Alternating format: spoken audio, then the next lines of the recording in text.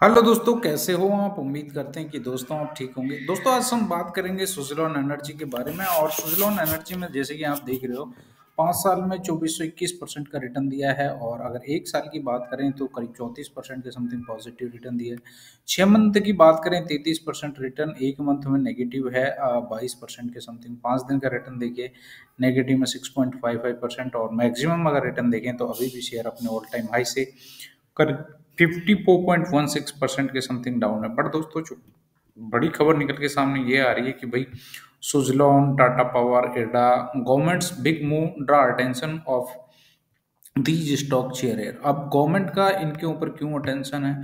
तो जैसे कि आप हेडलाइन से ही जान गए होंगे दोस्तों, क्योंकि ये जो शेयर हैं सुजलॉन टाटा पावर रेडा ये रिन्यूएबल सेक्टर्स में कामकाज कर रहे हैं। और जो गवर्नमेंट का टारगेट है 2030 तक 500 गीगावाट वो मतलब रिन्यूएबल एनर्जी डेवलप करना है 500 गीगावाट तक। तो अभी जो टारगेट है वो 200 गीगावाट क्रॉस हो चुका है, वो टोटल 211 गीगावाट हो चुका है। अभी तक और अभी तो मतलब छः साल पेंडिंग है तो हमें लगता है कि दोस्तों बहुत जल्दी 2030 तक 500 गीगावाट बहुत जल्दी आ जाएगा। Focus on the renewable energy sector has been increase recently with the government taking steps to support its growth. Listing company in the sector has provided good multi-bagger return and the government's new proposal to form a task force to achieving a 500 gigawatt renewable energy capacity अभी इसमें भाई ठीक है, जो ministry है renewable energy वो भी कह रही है कि भाई हम इन मतलब कंटिन्यूसली प्रयास कर रहे हैं। और ही सेट जो मिनिस्टर का है मिनिस्टर ने कहा है he said the country has already achieve 212 gigawatt energy capacity from the clean fuel sources and it is on the track exceeded the 2013 target the minister spoke the important concern collaboration report among the stakeholder to outcome overcome challenges and accelerate progress the renewable sectors तो भैया ये मतलब कह सकते हैं exceeding target में चल रहे हैं। मतलब टारगेट 2030 तक 500 गीगावाट का है, लेकिन हो सकता है कि ये 700 या हज़ार गीगावाट भी हो जाए डबल भी हो जाए। क्योंकि जो कंपनियाँ हैं एन एच पी सी एडा Inox wind J S W orient green power Suzlon Tata power ये सब कंपनियाँ काफ़ी अच्छी तरीके से कामकाज कर रही हैं और काफ़ी अच्छा रिटर्न अभी तक बना के भी दिया है और एनर्जी भी जनरेट करके दिए तो सुजलॉन फ्यूचर में काफ़ी अच्छा रिटर्न दे सकता है क्योंकि गवर्नमेंट ऐसी कंपनी को काफ़ी प्रमोट कर रही है। और अच्छी बात है, अगर हम रिन्यूएबल सेक्टर से एनर्जी डेवलप पैदा कर रहे हैं तो बहुत अच्छी बात है। रिज़ल्ट भी काफ़ी शानदार हैं। सुजलॉन एनर्जी की बात करें फाइनेंशियल पैरामीटर काफ़ी मज़बूत होते हुए नज़र आ रहे हैं। सेक्टर इलेक्ट्रिक इक्विपमेंट है current market price fifty six point seven three है। फिफ्टी टू वीक हाई की बात करें eighty six point zero four है। फिफ्टी टू वीक लो की बात करें thirty three point nine zero है। Market cap seventy seven thousand four hundred seventeen point five six crore है।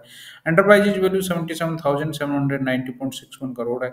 नंबर ऑफ़ शेयर की बात करें one thousand three hundred sixty four point six seven crore है। P company का 255.08 करोड़ है। Price to book value 19.94 है। Face value 2 है। Dividend 0 percent है। बुक वैल्यू 2.85 है। कैश कंपनी के पास में 263.13 करोड़ है। डेट की बात करें 636.18 करोड़ तो कंपनी ने काफ़ी अच्छा डेट कम कर दिया है। प्रोमोटर होल्डिंग 13.25 है बट एफ़ भी अच्छे से इन्वेस्टेड है। अर्निंग पर शेयर 0.22 है सेल्स ग्रोथ 7.51 है प्रॉफिट ग्रोथ नेगेटिव में 95.68 है। रिटर्न ऑन इक्विटी 3.74 है return on capital employ 7.98 percent है। दोस्तों, अगर बात करें सेल्स ग्रोथ की प्रॉफिट ग्रोथ की R O R O C तो अभी थोड़े से अपटेंड में है। शेयर होल्डिंग पैटर्न में पब्लिक 54.05 एफ़ आई ट्वेंटी है। और अगर बात करें प्रमोटर 13.25 है डी आई नाइन है तो एफ़ आई डी आई अच्छे से इन्वेस्टेड है। अगर क्वार्टरली रिज़ल्ट की बात करें तो जहाँ सितंबर 2023 में नेट सेल्स 763.87 करोड़ था, वहीं एकदम डबल के लगभग हो गया है 1412.14 करोड़ टोटल एक्सपेंडिचर की बात करें तो 732.03 करोड़ था, वहीं बढ़कर 1349.89 करोड़ हो गया। ऑपरेटिंग प्रॉफिट की बात करें 31.84 करोड़ से बढ़कर 62.25 करोड़ हो गया।